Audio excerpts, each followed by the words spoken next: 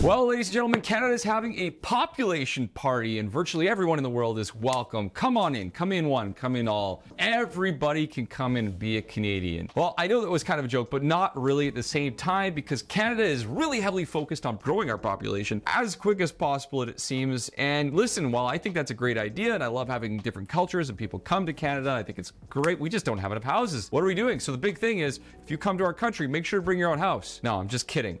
But we have a serious issue right now that we have to deal with, and we're going to talk about exactly what is going to happen over the next couple of years, what we expect, but more importantly, how this is going to impact the real estate market. So stay tuned. Okay, so to start off with, we'll talk a little bit about population growth versus housing supply, a conversation that's come up many times, but we'll give some numbers to think about here going forward. Some statistical highlights showing you the imbalance of what's actually happening in the marketplace, a little bit of a housing analysis and more. Let's get right into it, shall we? First and foremost, in the last 24 months, with data that's available to us, get this, we have 2.076 million new Canadians added to our country, which is mental. 954,000 new households were added, with 399,000 new housing units complete. Well, that seems off, doesn't it? Especially considering the fact that we have a lot of Canadians who were born here and live here who are going to need housing in the next couple of years. You can see why so many people are concerned about the impending, well, it's not impending,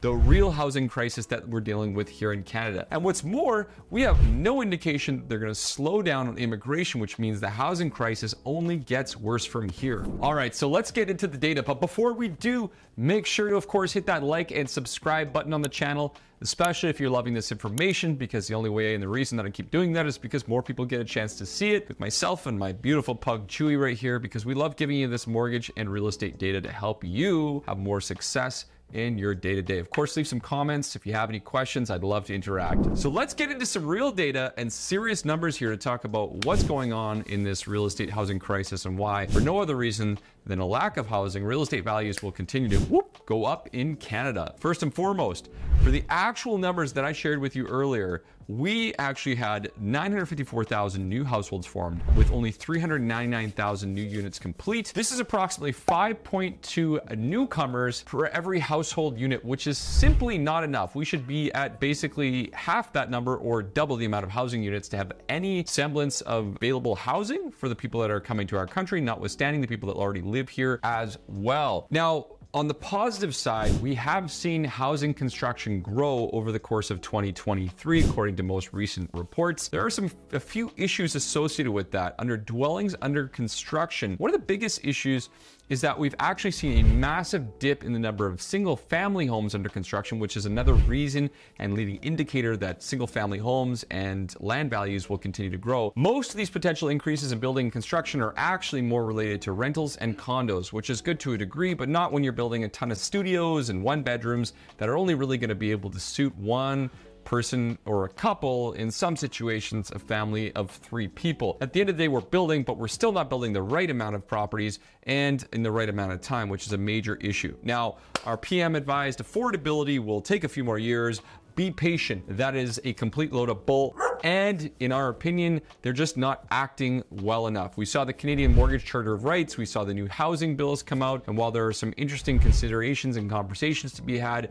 this is not going to fix the problem. And we are going to have a serious, not just housing crisis, but change in property values over the next five years alone if something or someone doesn't take any serious action beyond what's already happened at this point right now. Now, the immigration policy impact has been massive to consider the fact that immigration, so new immigration,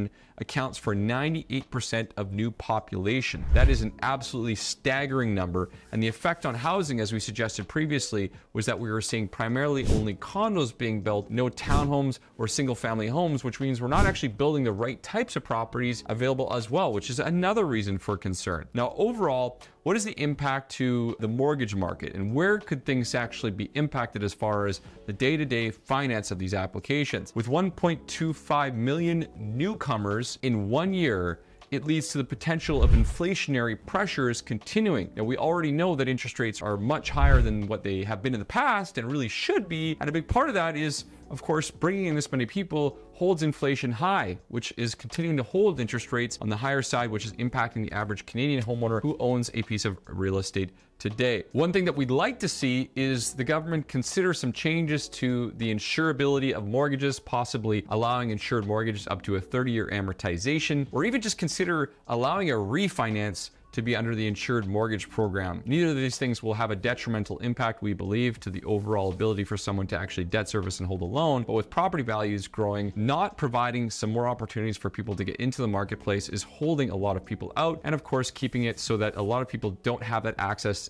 or entry into the marketplace unless they came from money. And that's a serious issue when we consider the possibility of the quote unquote middle class in Canada as it continues to shrink year over year over year. So again, what does this all mean? For potential changes to the real estate and mortgage market? And where are some of the opportunities or where are we likely to see more people get involved in the market? Now, as a mortgage professional myself, I think that we will see a lot more people who will require access to the new to Canada lending programs. And there aren't very many people who have a strong grasp on these programs, and there are only certain lenders that allow them. Now, understanding these programs pretty well myself and working with many people who have been recently coming to the country, these programs will be a lot hotter and a lot bigger and a lot more important over the coming years. In addition to that, as we mentioned previously, the government has pushed a lot of money into building and construction, whether it be rental owned properties through the CMHC supported growth of MLI Select and many other programs, which means that we'll start to see a little bit more of a push into the multifamily and rental use only construction space over the coming years. The average individual, however, won't necessarily see the impact of that unless they're a renter or there's someone looking to get into the development space. Another factor that we could see